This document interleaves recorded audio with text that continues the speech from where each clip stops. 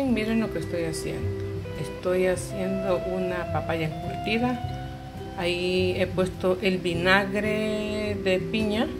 Lo preparé yo con cáscara de piña y azúcar porque no lo quería oscuro y a, veces cuesta conseguir dulce atado. Acá se le llama chancaca. Entonces tiene orégano, tiene eh, eh, también hojas de laurel.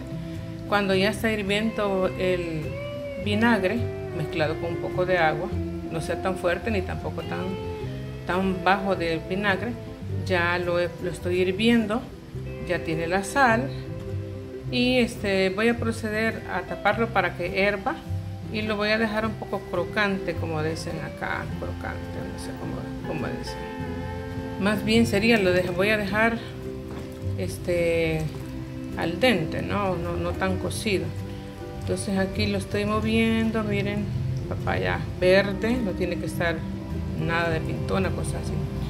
Está verde, ya tiene el laurel, tiene el orégano, como les dije. Lo voy a dejar hervir lo voy a revisar para ver em, cómo va su cocción. Voy a enseñar una manera que yo uso para hacer mis tortillas, ya sea para tacos o para enchiladas.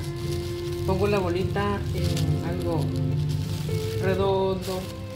Bueno, en este caso yo tengo dos cosas de corte que son para poner las ollas, para que no quemen las mesas.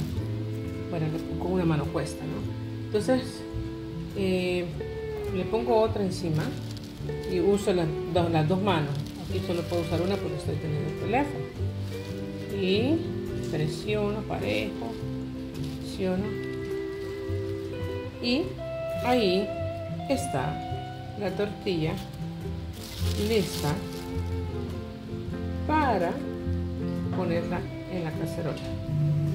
Bueno, en mi caso lo pongo en cacerola porque no tengo, miren, no tengo este comal. Pero ahora estoy haciendo unas enchiladas y ahí las estoy haciendo. No conseguí achote, así que por eso las estoy haciendo así. Y así me están quedando bastante tostaditas. Miren, voy a hacer unas enchiladitas tengo ya todos los preparativos. Así quedaron mis enchiladitas. Le puse la palta o eh, aguacate dedito de mono. Y aquí está el encurtido de papaya con ají, charapita. Ahí está el ají, miren. les cuento que eh, como no tengo, no, encontré col o repollo, le, he puesto eh, como encurtido pues la papaya. Ahí lleva frijolito, ensalada de palta y el huevito, la tortilla de maíz. Luego después le puse la papaya como les dije.